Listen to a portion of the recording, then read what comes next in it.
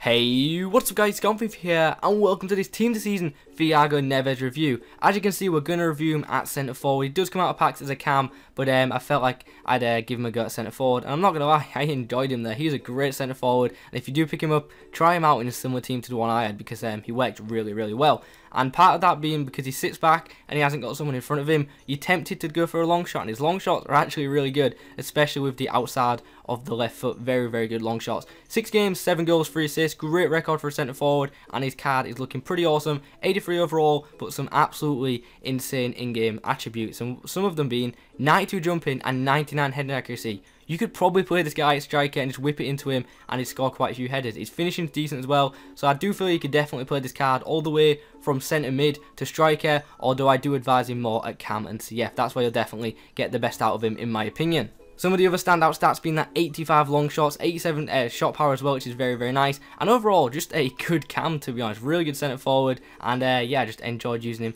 as a whole. Freestyle weak foot, his right foot's not that great, but it does mean that you can use that outside the foot shot on the uh, left side, which is uh, actually really, really good. So going into the clips now, you'll see some very good positioning on him. Very good player, as you can see, supports him eventually, gets in the right position, and uh, gets a nice, easy goal to start off with. But the goals get better, and he actually scores a really nice free kick as well. Look at this, 19th minute, all the pressure's on him, and uh, 36 yards out, so it's not exactly an easy free kick. And look at that, right in the corner, keeper's got no chance, great power, and uh, he scores the winning goal. Very, very nice finish from Neves on this occasion. He's got a good bit of pace about him as well, 82 pace, and his dribbling's decent. I won't lie, his dribbling isn't anything spectacular, especially com uh, compared to some other team season cards, but it's good enough, and um, yeah, just a good player. Sets up goals as well, good set pieces. That left foot, by the way, is brilliant. His right foot's crap, but his left foot's great, and uh, as long as you can adapt to using his left foot uh, the majority of the time, you'll definitely enjoy the guy. Gets another assist here, nice finish from Ramirez, making it 1-0 in that game. As I said, positioning is very good, that left foot's great for passing, for shooting,